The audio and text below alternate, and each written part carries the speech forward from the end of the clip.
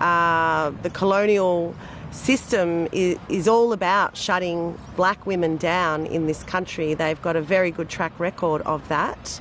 Uh, for those that don't agree with what I have said and what I have done, uh, I can tell you now there are elders, there are grassroots Aboriginal people across this country and Torres Strait Islander people who are just so proud.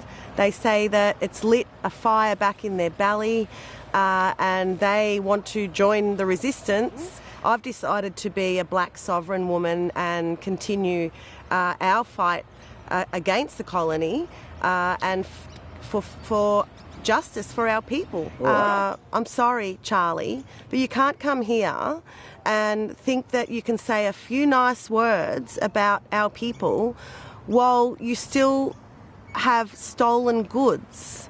Mm. You are in receipt of stolen goods, which makes you complicit in theft.